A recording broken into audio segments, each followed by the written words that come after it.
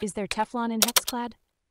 Have you ever wondered what makes your nonstick pans so slippery and easy to use? One common material used in nonstick coatings is Teflon, also known as PTFE. But what about Hexclad cookware? Let's dive into the details. Hexclad cookware has undergone some changes recently. Until 2024, Hexclad pans did contain PTFE in their nonstick coating. This PTFE coating is what gave the pans their nonstick properties similar to other Teflon coated pans. However, PTFE can release toxic fumes if heated above 500 degrees Fahrenheit, which raised some safety concerns.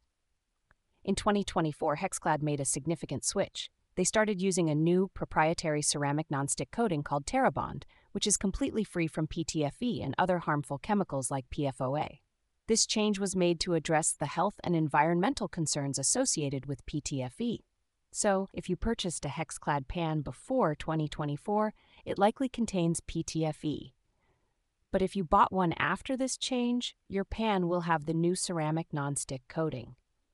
To be sure, you can check the FAQs on the Hexclad website or contact the company directly with your proof of purchase.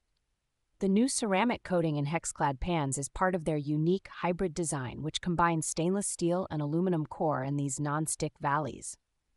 This design not only ensures even heat distribution, but also protects the non-stick coating from scratches and wear. In summary, whether there is Teflon in your Hexclad pan depends on when you bought it.